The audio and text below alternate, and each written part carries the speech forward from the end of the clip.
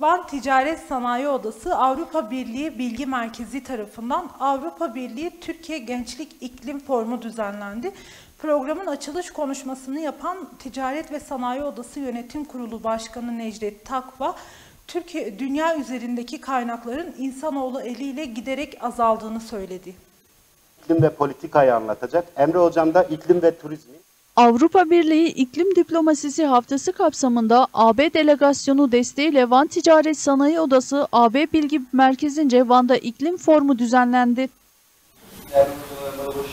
Düzenlenen iklim formu Anadolu Üniversitesi İktisat Fakültesi öğretim üyesi doçent doktor Erhan Akdemir'in moderatörlüğünde gerçekleştirildi. Programda açılış konuşmasını yapan Van TSO Yönetim Kurulu Başkanı Necdet Takva, iklim değişikliği, karbon salımı, kuraklık ve susuzluk gibi kelimelerin yakın tarihte herkesin vazgeçilmez argümanları haline geleceğini belirtti.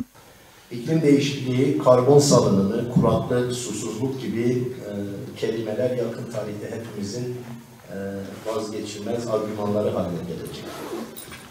Dolayısıyla bu coğrafyada, dünya üzerinde yaşayan her bir bireyin mutlaka üstlenmesi gereken bir sorumluluk var bu meselede. E, çünkü dünyamızdaki bu kaynaklar insanoğlu eliyle giderek azalıyor ve tüketiliyor.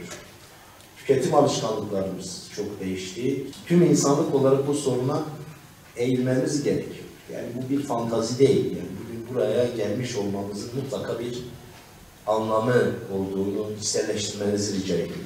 Yani samimi söylüyorum. Ben o duyguyla buradayım. Bundan bir süre önce de özellikle Van Gölü'nün çekilmesiyle birlikte sosyal medyada e, cankıraş feryatlar vardı ve e, odada biz yine bir farkındalık oluşturalım istedik. Yani umarım yapılan tüm bu çalışmalar dünyamızın ömrünün sağlıklı uzamasına sebep olur. Öğrencilerin yoğun ilgi gösterdiği program, Van 100. Yıl Üniversitesi Edebiyat Fakültesi Coğrafya Bölümü öğretim üyesi Profesör Doktor Faruk Alaaddinoğlu'nun iklim ve kuraklık, Van 100. Yıl Üniversitesi Erciş İşletme Fakültesi Dekanı Menaf Tuğra'nın iklim ve politika ve Nevşehir Hacı Bektaş Veli Üniversitesi doktora öğrencisi Emre Karaduman'ın iklim ve turizm konulu sunumlarıyla devam etti. Unutmayalım ki bu küreselleşme yaşa